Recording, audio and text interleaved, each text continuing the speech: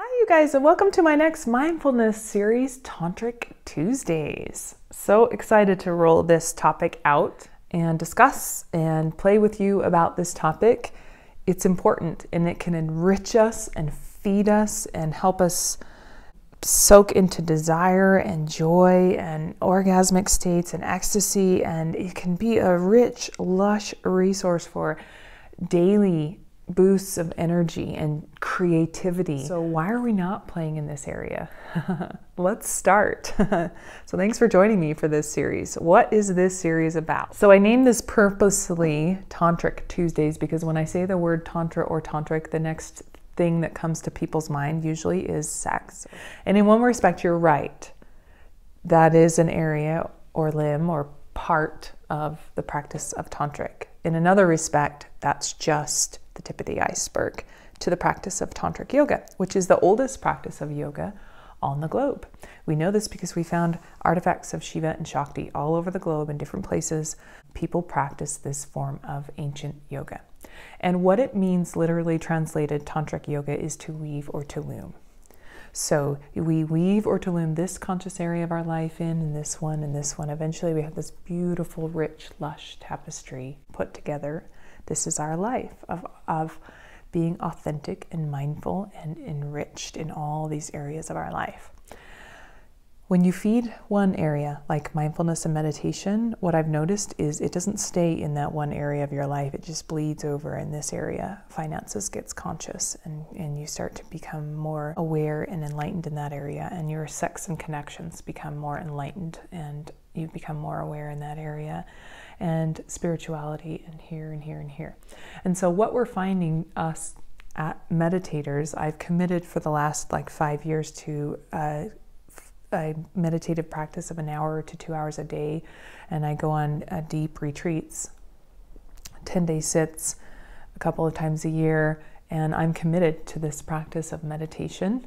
And what myself and other meditators have found is that this this building this area up makes oh my gosh our connections intimate connections and sex and sexuality. Uh, you get to come into these delicious meditative states those orgasmic states and you get to ride those waves for days and they fill your energy up and your creativity gets boosted. Um, and it just it's a beautiful place to play. and so, if you think in terms of look at all the things that we get, um, all the benefits that come from meditation, right? Less stress, more connection to your central nervous system and your sensorial system. Your pre processing power is is expanded to richer, deeper places. Your present moment is awareness is you get to play in that land a little bit more. Um, all the things you know, you get better sleep, you have better, you make more better decisions. You like there are so many helpful things and so many benefits from it. Now I want you to think about what if I could bring all those benefits and just add in sex, in connection, in intimacy.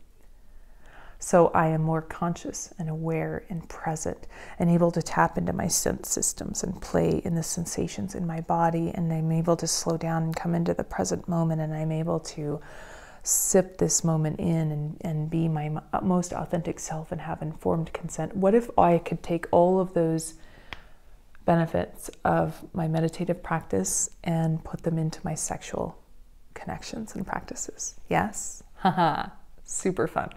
Because where we're at right now with sex and connection is really rudimentary. We're really kind of juvenile and rudimentary about it. Our sex education system across the globe, the way we look at connection and marriage and monogamy, and this whole track of only using your sexual or life force creative energy when you're going to attract one partner and then maybe when you want to have babies. We're wasting, like, we're we're not tapping into that place we can live in 24 7.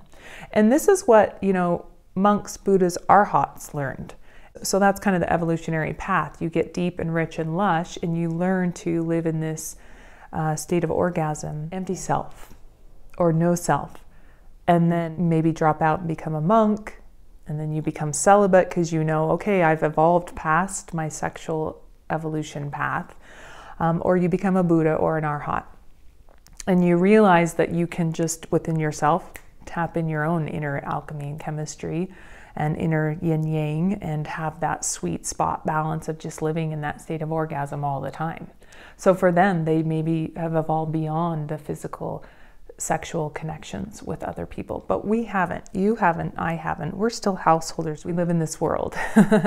so if you're watching this video, I'm assuming it's because you're interested because you have sex or connection on some level with your partner.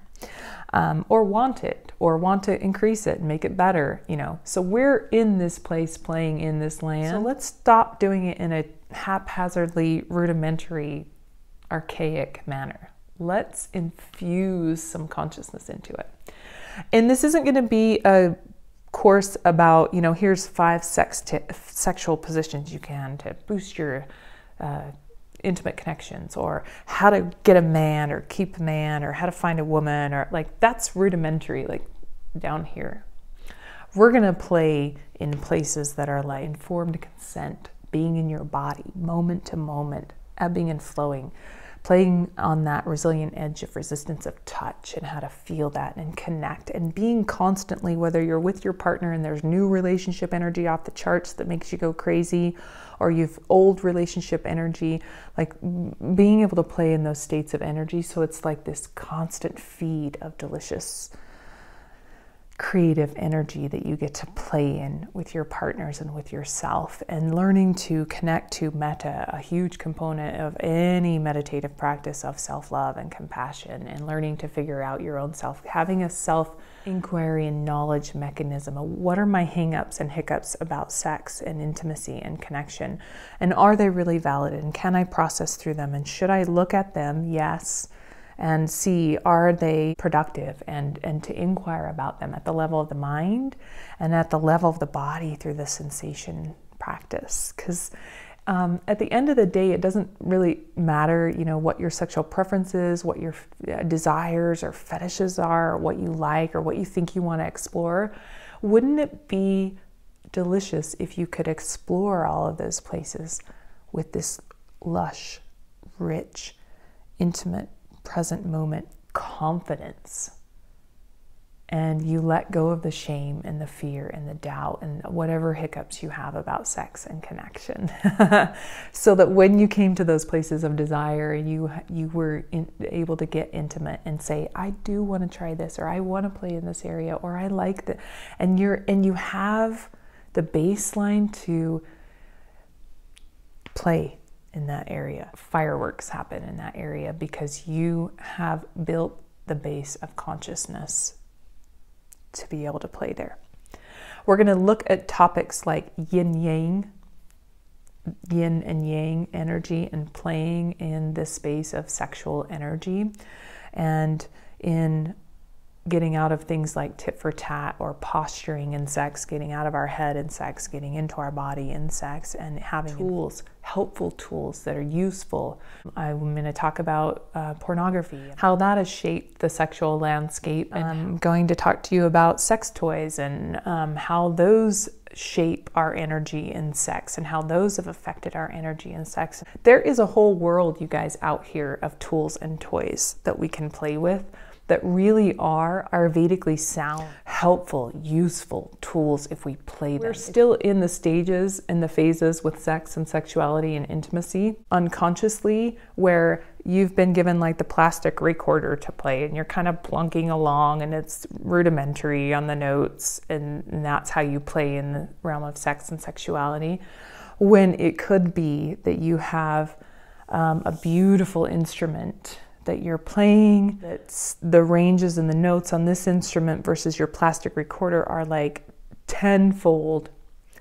And you feel the weight of the instrument and you connect with that and you learn how you've learned how to play it like a master.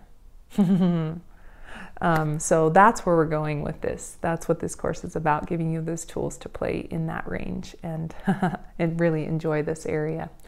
Uh, it is an adult content uh, video series, so if you are not a grown ass adult or can't act like a grown ass adult, you probably don't want to participate in this. That's your journey, that's your decision, that's your informed consent, which is The next topic we're going to cover, the first topic in this series, is informed consent. And I'm going to talk to you about it in three ways informed consent between teacher and student, and between you and this practice, um, what that looks like. Um, and informed consent with yourself moment to moment so that you can give informed consent to another human being to have a, an interaction of intimacy or sex. Um, so, super excited about sharing this topic with you guys. It's been such a lush, rich resource to play in, and I am going to share tons of teachers and guides with you. There are some really good people out here that have been studying this topic and um, mm, lush resources. So, have a fabulous day. I look forward to next week. Tantric Tuesdays. Yay! Namaste.